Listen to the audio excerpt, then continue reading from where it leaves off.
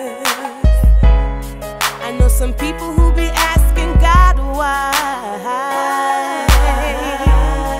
are they here